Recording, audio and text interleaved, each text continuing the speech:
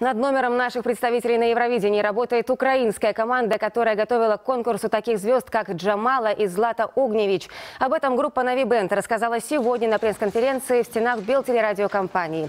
Главный медиахолдинг страны в этом году стал и продюсером дуэта. На пресс-конференции презентовали промо-продукцию. В этом году она выполнена с национальным колоритом. В промо-пакете буклеты, значки, ленточки и даже бабочки с белорусским орнаментом. Упершыню мы прэзентуем вось наша прома і нам вельмі прыемна што ўсё звязана з нашым беларускім сімвалам і нашым э, сімвалам Вось дэлегацыі ён. Наш Наві сімвал. бэнд from Беларусьленд усё гэта вытрымана вось тут расказваецца тут ёсць наша песня вось Наша тут песня. город глыбокая адкуль я родом Я город з Мінску, про Мінск, так. Потім Гэта- наша пісня на, на ангельській мові, каб було зрозуміло.